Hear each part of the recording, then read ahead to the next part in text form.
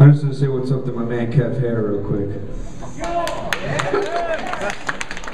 Let's hear a round of applause for that guy.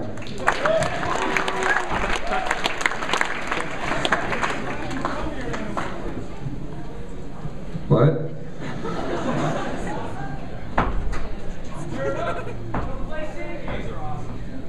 Thanks. We're not gonna play singing though. Come on, man, where you been? You ain't read the internet in the past year?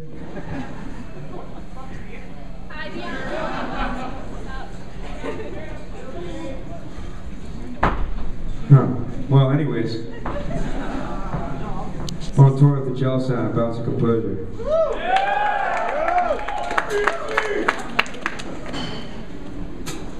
Tell him? No? What? All right, I'm gonna give you guys a lesson on how it works. Since apparently only 15 of you know. Don't feel bad, because I've walked many a crowd through this exact procedure. It's commonly referred to uh, as applause cues. So it goes like this, when someone with a microphone says a certain word or phrase, that's when you know to stir up a little applause. Usually it works like this. I'm pretty simple with it. I don't, I don't throw any curveballs at you. Rule number one. Hold on a second, I'm done. Rule number one. When I say the names of the bands we're on tour with, that's that's the main kicker to shoot off some claps. All right, let's try it out. After us is uh, a real great band. Some real good friends of mine called the Jealous Sound.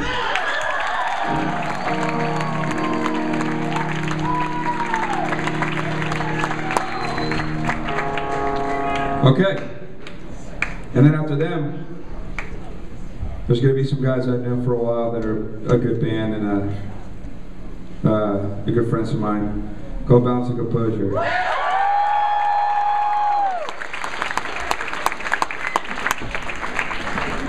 Proud of you guys.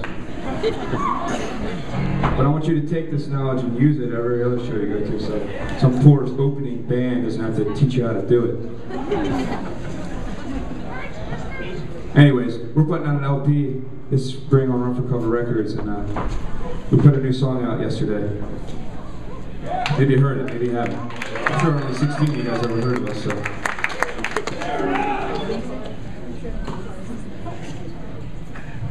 Alright, we're gonna play that new song.